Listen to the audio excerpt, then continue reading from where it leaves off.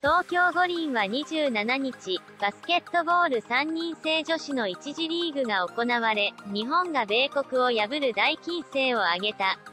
ペダルへの期待が一気に高まる中、ツイッターでは著名人らが祝福の声を上げ、海外のツイッターユーザーも驚きを隠せない様子だった。日本は、ここまで全勝の米国と対戦。午前中にバスケットボール女子がフランスを破っており、3人制の活躍にも期待が寄せられていた。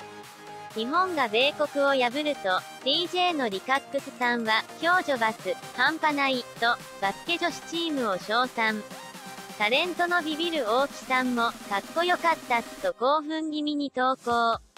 お笑いコンビ、クマムシの長谷川俊介さんも、みおちゃーん、まいちゃーんなどと次々に選手の名前を挙げて、号泣、絵文字で感動を表した。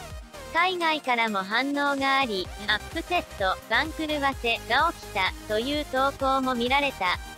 また、国際バスケットボール連盟、FIBA の3人制公式アカウントでは、試合直後にマウリ・ステファニー選手の勝利の雄たけび写真とともに、カレントムード、今の気分、と投稿。